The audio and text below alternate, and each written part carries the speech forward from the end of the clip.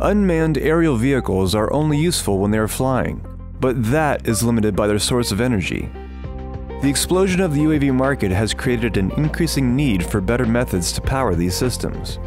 HRL Laboratories proposes to power UAVs with a fascinating inorganic compound called alane.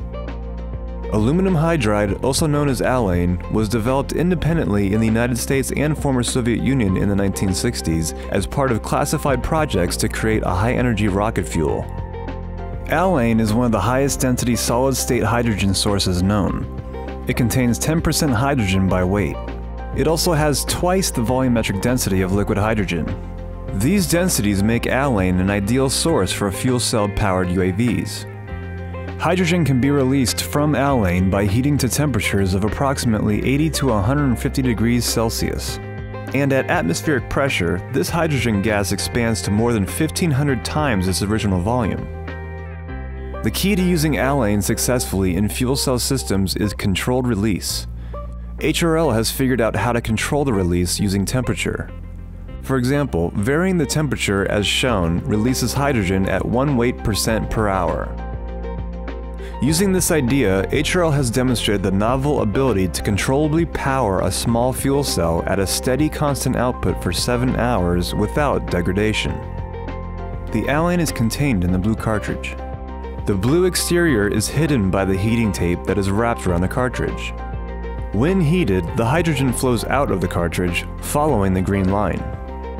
It goes through a flow meter so we can measure how fast the hydrogen is being released. Last, it goes into the fuel cell where it is oxidized, generating electricity. The wires connected to the fuel cell go to the pump and fan shown in the video. Current UAV power systems all have limitations.